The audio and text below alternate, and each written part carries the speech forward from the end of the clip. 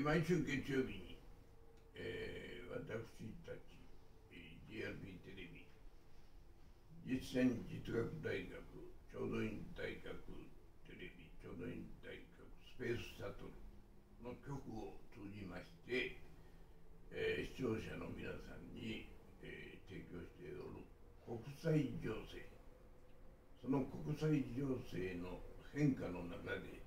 日本はどういう立場にあるか。いろんな問題をテーマにしてお話をしております。えー今日はウクライナのロシアとの国境ここにロシア軍は10万の兵を集結しております。これはウクライナの地にウクライナが NATO のメンバーに参加するとなった場合ウクライナの基地がロシアに向かって、えー最短距離で発射され今ウクライナは NATO のメンバーではありません。元はソ連の中にあったウクライナ地方ですからソ連の中にあったわけです。ソ連からエストニア、ラトビア、リトアニアが独立し NATO に入っている。そしてベラルーシはニュートラルというロシアの一部と見ていいわけ。です、えールカチェンコ大統領はプーチン大統領の子分ですから。まだ健在で頑張っている。そしてウクライナはロシアとの友好関係であった大統領。これが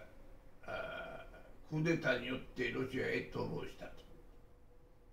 それ以後は、ー NATO よりという EU よりの大統領が現在も続いておる、えーこのロシアの言い言いなりにはならない。そこへもって今回は NATO へ入るかもしれないという動きがあります、えーそれらを裏で操るのがアメリカ大統領でこれはもう今のバイデンさんである。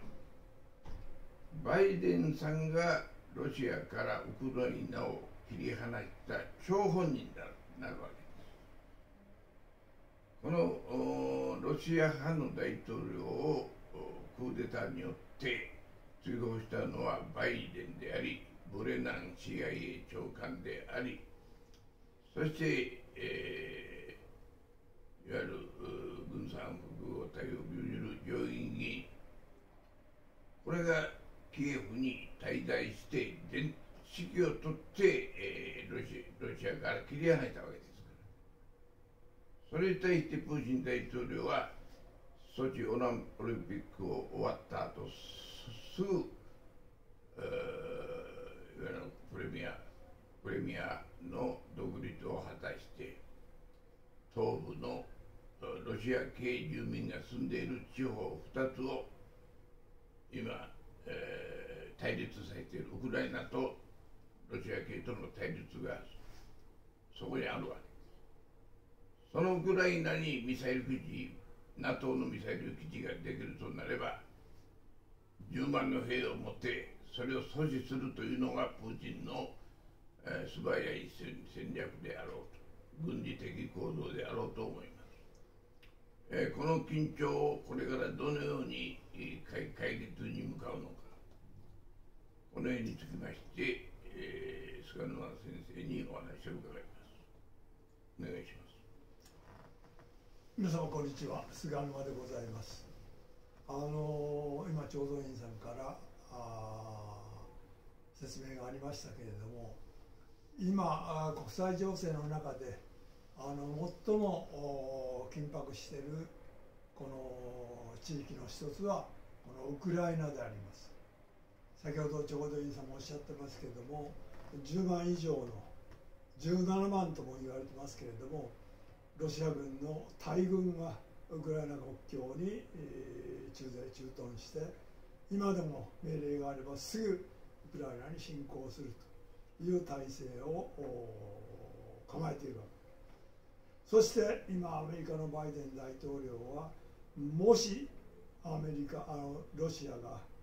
ウクライナに兵力を進めるということになればまずここがまた問題なんですけれども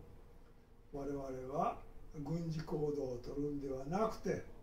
要するに経済制裁をやるとというようなことをおっしゃってるわけであります。で今そういう情勢がずっと続いているわけでありましてロシアとアメリカとの間でさまざまな論争が行われている今 NATO の話がありましたけれどももしウクライナにウクライナに NATO 軍がああるいはウクライナが NATO に入るということになりますとプーチンの説明によりますと我が国のもう安全は保障されない要するに NATO のミサイルがボンボン飛んでくると。我々はこれを何とかして阻止しなきゃいけないと。まあいうことをでその強い態度で一方しかしヨーロッパの人たちにとりましてまずロシアはその前にウクライナからこの南の方の港をいろいろ取り上げた。まあそういうようなクリミア半島。まあこれでいろんなことがあったわけでありましてみんなあロシアのプーチンにやられてあれしてます。国会は今もうロシア艦隊の支配するところになっていると。まあいうような状況でありますもんですからこれがまたウクライナがウクライナにロシアが。しかしこの NATO が NATO に入るか入らないかって問題はこれは実はロシアが要するに、えー、独者独立というよりはソ連が崩壊した時に東ドイツとまあ言うなれば東ドイツとあの西ドイツの統一をドイツの統一を認めるというような話し合いが行われたわけですけれどもその時にロシアと西側との間 NATO との間では NATO は NATO は NATO 軍は東ドイツと東ドイツまでという約束をしたと、まあ、こういう国際協定を結んだわけ。でそこで今そういうことを言ったじゃないかと。その何て言いますか今になって今になってそのウクライナまで NATO に入れるなんていうのはけしからんだと。協定違反だと。まあロシアはそういう形でいろいろこのウクライナっていう国はウクライナという国は先ほどもちょうど以前からありましたけれどもこれはソ連の時代ソ連邦の時代にはロシアロシアというかソ連第2の要するに共和国であったウクライナ共和国かなり広大。してしかもウクライナはロシアのあソ連の当時のソ連の軍事産業の中心でもあった。まあそういうあれですけれどもそれ以上に歴史的に言いますとロシアって言いますのはロシアって言いますロシアとこのウクライナって言いますのはこれはもう切っても切れんっていうよりはロシアっていうのロシアっていうある国は要するにふるさとはウクライナキエフあるいはその他ルシールシーって言いましたけども要するにスラブ民族の中のロシア人っていうのがそのウクライナからでロシアまであるということで歴史的にも大変この何て言いますかロシアにとりましてはロシアにとりましてはこのウクライナっていうものがよその国になっちゃうということはもう絶対に許せないという国あのところでありそういう歴史的なあるいは伝統的なロシア人の感情があるし。それから今ウクライナにはロシアを支持している。要するに人たちもたくさんいるわけであります。今あ東の方の州の州が半分、まあ、いろいろ形で軍事行動やったりなんかして揉めてますけれども揉めてますけれども東の方だけがだけにロシア系のあるい。はロシアを支持するウクライナ人がいるわけではないわけだ西の方にもウクライナ人ロシアを支持するロシアを見ますでもしこういうことでこのロシアが例えばあウクライナが例えば NATO に入るということでありますとおそらく大暴動が起こる可能性だってないわけじゃない。今ロシアは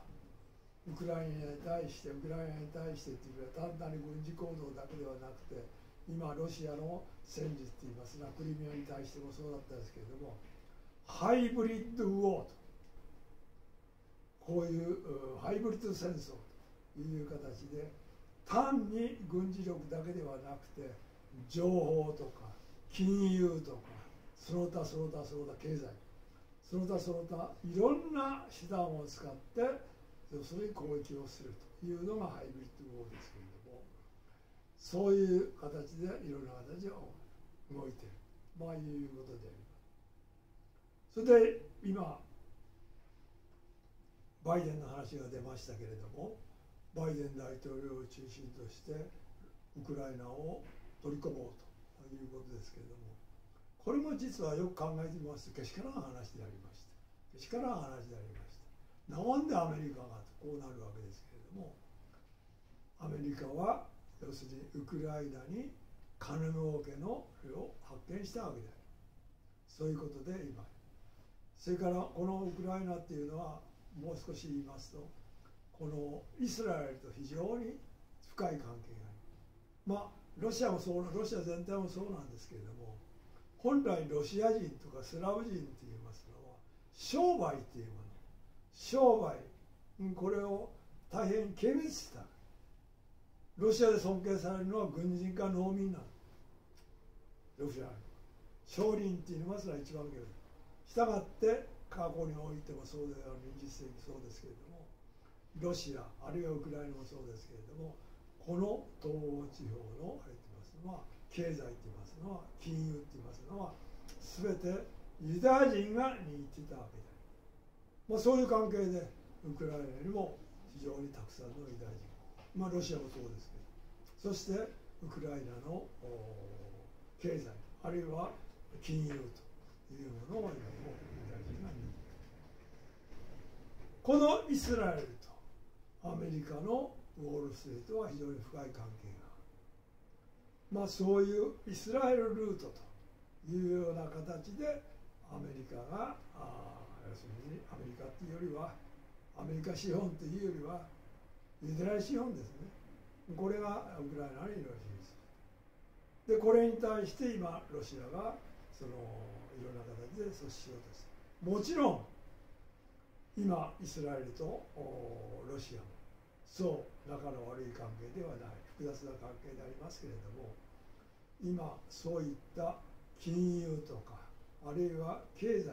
というような関係からこのウクライナ問題を見てますとこれはまたあ摩訶不思議な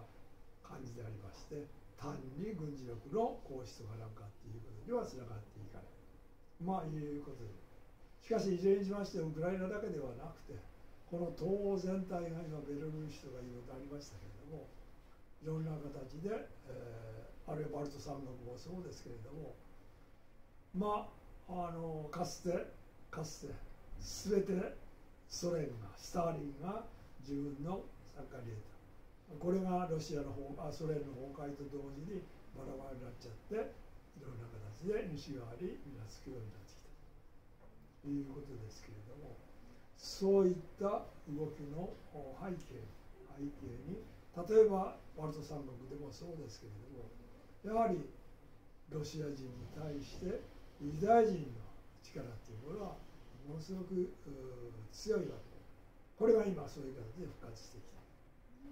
で単なる要するにこのウクライナ問題といいますのはこの何て言いますかこの誰が誰がこの党を党の経済を握るかと金融を握るかという問題でも非常に大きな関わりがあるだから我々は単にそのロシアが軍事的に行動す。るでもし本当にアメリカがアメリカが軍事力を行使するということになりますとこれはもうこの何て言いますか大変な争いになるということでそこはアメリカ政バイデンも言いまして要するに経済制裁。ここでもロシアに対してもあのバイデン政権はバイデン政権はある意味で寸止め的な寸止め的な要するに政策を取ってるわけですロシアと徹底的に対決するというような方向はそれから今ロシアこの経済的にまあその要するに経済制裁を対して行うというようなことを言いましたけれどもロシアっていう国は本来本来要するに軍事力とそれから秘密警あ国内的には秘密警察この2つで国を維持している国だ経済の問題と言いますがこれは2の次3の次だ。したがって常にそのロシアの経済というのはいろいろ問題が多い。ロシアでも中国でもそうですけれどもこういう先制国家という国々って言いますのはこれは多くは多民族国家なでこの多民族国家をその治めていくということになりますとこれは軍事力強大な軍事力。それから国内的には秘密警察ここじゃないと収まらない。中国の場合はずっと何千年の間王朝要するに皇室が皇室といいますかあれが治めてきた。したがって今の習近平も共産主義者あるいはスターリンというよりはむしろ中国現代のこの王朝国家まあこういうものを再現しようとしてるんではないそうしないとこの中国のこの多民族化である中国もなかなか収まりきれない。まあいうことで。それをこの西ヨーロッパ風に先制国家と呼ぶかどうかと。でこれはいろいろ問題があろうかと思いますけれども本質はそういうこと。従いましてこのウクライナ問題というものもいろんな要素が先ほど説明しましたように絡んでいるということでありましてロシアの方もそう単純に軍事力の行使もしないであろうしアメリカもそれに対して NATO っていう感じでという形からなんとなくその収まっていくんではない。収まっていくっていうよりは要するにこのままの状況がしばらく続いていくんではない。そのうちにアメリカもそうですしロシアもそうですけれどもプーチンの人気もあとということになります。まあいろいろ問題がある。ロシアも国内的にはいろんな問題を抱えてアメリカも問題。ということで結局まあ絶者を示したというのはこれは今言ったように要するにロシアもアメリカもみんな国内向けの国内向けのジェスチャーであろうと。いう具合に思います。まあそういうことでとりあえずの説明としましたはいありがとうございます。えー、そういうロシアウクライナの軍事的緊張。また台湾と中国との軍事的緊張。そしてお互いの牽制という中でですね一つの共通点は私は CBDC だと。2020年1月に発足した CBDC セントラルバンクデジタルカレンシーという団体は全世界を暗号通貨にするという目標があるわけです。これは目標ははっきりしているわけです。その目標に対して妨害をする国があればあらゆる圧力をかけるというこれがやっぱり金融金融250年間の産業革命以上以後の金融金融に邪魔するものは始末するという一つの鉄則があるわけ。ですだから人民元ルーブルこれを全部暗号通貨よりデジタル通貨に変える中で何らかの障害になると見ればですねあらゆる軍事的いわゆるプレッシャーをかけている、まあ、かかるかかからないかこれからの勝負と、まあ、いうことで私は注目しております。